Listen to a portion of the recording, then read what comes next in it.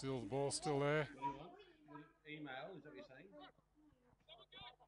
you're? Ball's tossed forward. Bunny, can he get a snap? Yeah, he's turned around. Snaps for goal.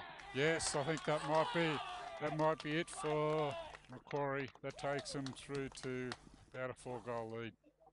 So that'll make it pretty hard for Muswellbrook to come back.